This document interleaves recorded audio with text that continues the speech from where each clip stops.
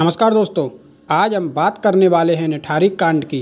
नरपिशाच कोहली और पंठेर की दिल दहला देने वाली दास्तां।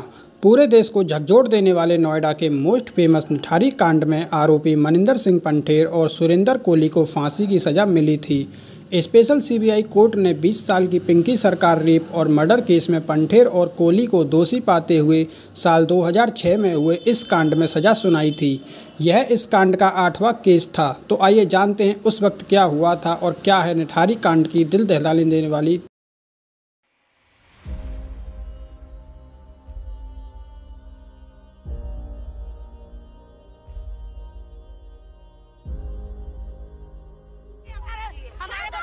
उसने खा लिया। हमारे बदला लेंगे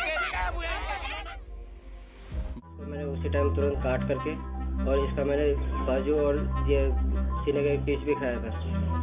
अच्छा। हाँ जी जो मैंने घर में ही मतलब किचन में बनाया था। इस घटना ने मेरे पूरे कॉन्सेप्ट को हिला दिया। मेरी पूरी लाइफ को हिला दिया। मैंने ऐसा कुछ सोचा भी नहीं था कि मैं अपने बच्चों को डेड नहीं पाऊँगा बारी बारी से हर पंद्रह दिन, बीस दिन में एक ना एक बच्चा गायब हो जाता था। और खास बात ये थी इस पूरे मामले में कि एक ही निश्चित लोकेशन से, एक निश्चित लोकेशन से ही ये सारे बच्चे गायब हो रहे थे। डिस्टेंस क्रिएट होगा, एक ब्लैक होल क्रिएट कर लिया हम लोगों ने। This is the black hole ये ब्लैक होल है जहाँ के बच्चे गायब हो जाते हैं। इन फोर मंथ्स हम लोगों ने इवन दो जितने प्रोस्टिट्यूट जहाँ जहाँ होता है प्रोस्टिट्यूशन होता है, हम लोग एज ए एजेंट वहाँ गए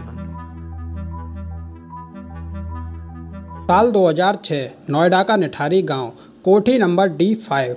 यहाँ से जब इंसानी कंकाल मिलने शुरू हुए तो पूरे देश में सनसनी फैल गई।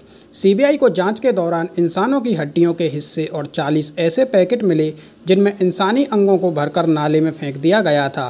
कोठी के मालिक मनिंदर सिंह पंठेर और उसके नौकर सुरेंद्र कोहली को पुलिस ने धर दबोचा। इस मामले का खुलासा तब हुआ जब 7 मई 2006 को पायल नाम की लड़की लापता हो गई। वह मनिंदर पंठेर की कोठी में रिक्शे से आई थी। अब क्योंकि उसे वापस भी जाना था तो उसने रिक्शे वाले को कोठी के बाहर रोका और वापस आकर पैसे देने की बात कही। काफ़ी देर बाद जब वह वापस नहीं लौटी तो रिक्शे वाला पैसे लेने के लिए कोठी का गेट खटखटाया। इस पर उसे सुरेंद्र कोहली ने बताया कि पायल काफ़ी देर पहले जा चुकी है। रिक्शे वाले का कहना था कि वह कोठी के सामने ही था। पायल बाहर नहीं निकली।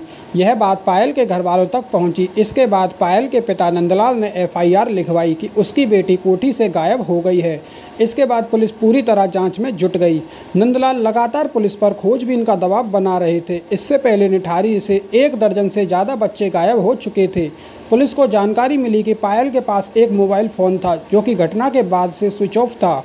पुलिस ने उस नंबर की कॉल डिटेल निकलवाई तो मुंबई से लेकर तमाम जगहों के नंबर मिले।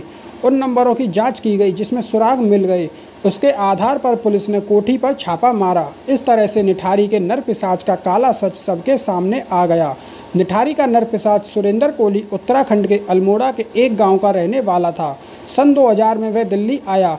दिल्ली में कोहली एक ब्रिगेडियर के घर पर खाना बनाने का काम करने लगा। साल 2003 में पंठेर के संपर्क में सुरेंद्र कोहली आया। उसके कहने पर नोएडा सेक्टर 31 के डी फाइव कोठी में काम करने लगा।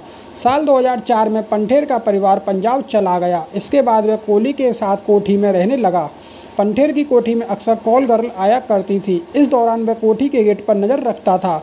इस दौरान कोहली धीरे धीरे नेक्रोफीलिया नामक मानसिक बीमारी से ग्रसित हो गया और वह बच्चों के प्रति आकर्षित होने लगा। उस पर आरोप लगा कि वह कोठी से गुजरने वाले बच्चों को पकड़कर उनके साथ कुकर्म करता और उनकी हत्या कर देता। हालाँकि निठारी गाँव के लोगों का कहना था कि पंठेर की कोठी से शरीर के अंगों का व्यापार होता है। उनका कहना था कि बच्चों को मारकर उनके अंग निकाल लेते हैं और उसे विदेशों में बेच दिया जाता है। सुरेंद्र कोहली और पंडित को जेल भेजा गया और उसको सजाए मौत मिली। यह उस घर के अंदर की कुछ तस्वीर है जहाँ यह नरसंहार हुआ था। अब आप खुद ही सोच सकते हैं कि किस तरह की मानसिकता वाले होते हैं यह लोग, जिन्होंने इन छोटे छोटे बच्चों को भी नहीं छोड़ा। इस घटना ने पुलिस मीडिया और पूरे देश की जनता को झकझोर दिया। पुलिस ने इस केस को जल्द से जल्द सॉल्व इस घटना पर एक मूवी, द कर्मा किलिंग, भी बन चुकी है। आपको ये जानकारी कैसी लगी कमेंट में हमें ज़रूर बताइएगा। इन्फॉर्मेशन अच्छी लगी तो वीडियो को लाइक और चैनल को सब्सक्राइब कीजिए।